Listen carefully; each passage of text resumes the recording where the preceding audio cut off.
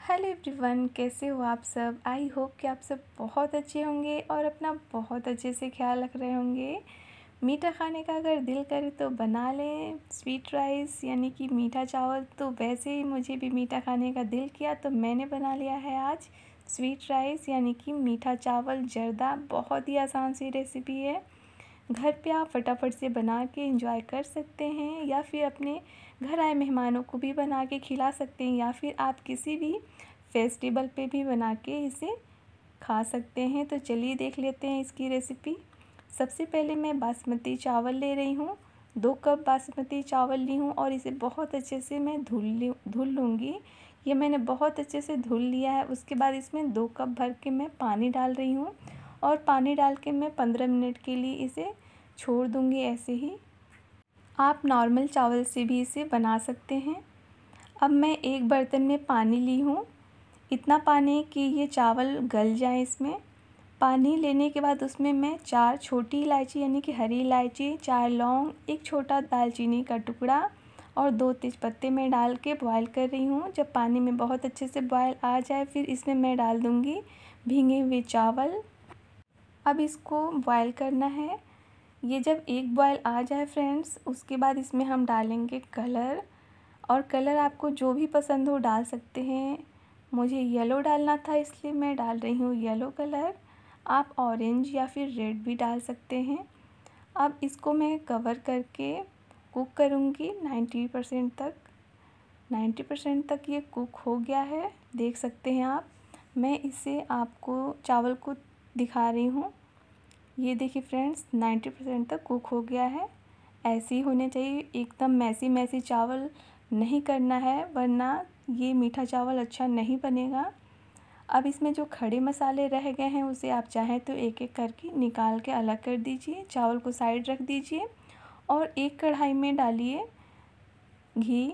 घी में डाली हूँ चार टेबल स्पून और अपने मनपसंद का ड्राई फ्रूट डाल दीजिए। मैं काजू, किशमिश, बादाम और नारियल डाली हूँ और इसे लो फ्लेम पे ही भूनूँगी।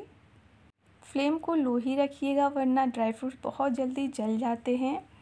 और इसे बहुत अच्छे से फ्राई कर लीजिएगा। ये बहुत अच्छे से फ्राई हो चुका है। जब किशमिश फूल जाए तो ये अच्छे से फ्राई हो जाता है। इसे निकाल दीजिए। मैं ड्राई फ्रूट निकाल दी थी और उसी घी में, उसी कढ़ाई में मैं डाली हूँ एक कप भर के पानी। और फिर मैं दोबारा से आधा कप डाली हूँ, यानी कि डेढ़ कप मैं पानी डाली हूँ। और उसमें मैं डाल रही हूँ दो कप भर के चीनी। चीनी आप अपने हिसाब से कम ज़्यादा कर सकते हैं। मैं दो कप चावल ली थी, इसलिए मैं चीनी दो कप ले रही हूँ। मीठा बहुत अच्छा हुआ था। और एक चिपचिपी सी चाशनी बना लेनी है। कोई तार वाली चाशनी नहीं बनानी है। अच्छी खासी चिपचिपी हो जानी चाहिए। तो अब मैं इसमें डाल दूँगी बॉयल किए हुए चावल। बॉयल किए हुए चावल पूरे इस चाशनी में डाल देने हैं। तो ये मैं पूरा चावल डाल दी हूँ। फ्रेंड्स, याद रखिएगा, चावल फुल कुक नहीं होना चाहिए, एकदम मैसी मैसी नहीं होना चाहिए।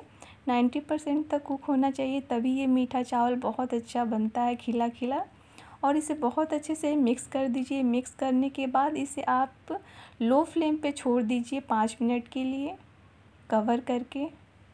तो ये बहुत अच्छे से मैं मिक्स कर दी हूँ और कवर करके मैं इसे छोड़ दूँगी पाँच मिनट के लिए। ये पूरे हो गए हैं पाँच मिनट। अब मैं इसे उलट पलट कर दे रही हूँ। देख सकते हैं, पूरा चाशनी सूख चुका है इसमें। बिल्कुल भी चाशनी नहीं बची है। अब ऊपर से फ्राई किए हुए ड्राई फ्रूट्स डाल देंगे और मावा डाल देंगे।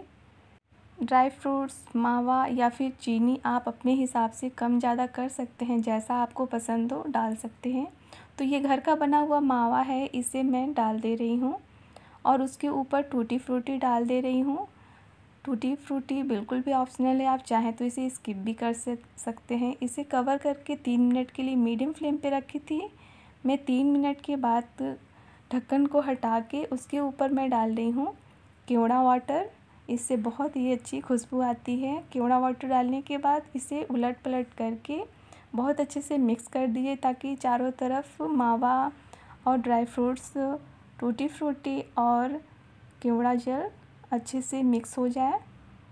और ये मैं सर्व कर दी हूँ फ्रेंड्स। कैसा लग रहा है आपको? स्वीट राइस बहुत ही बहुत ही ज़्यादा टेस्टी बना हुआ है। बहुत ही आसान सी रेसिपी है, ज़रूर ट्राई कीजिएगा। बहुत ही झटपट से बन जाने वाली स्वीट राइस की रेसिपी आपके साथ शेयर की हूँ। आई होप कि आपको पसंद आई होगी। फ्रेंड्स अगर पसंद आई हो तो प्लीज़ वीडियो को लाइक कीजिएगा शेयर कीजिएगा और ज़्यादा से ज़्यादा सब्सक्राइब कीजिए। चैनल पर नए हैं तो प्लीज़ प्लीज़ प्लीज़ सब्सक्राइब करके ही जाइए।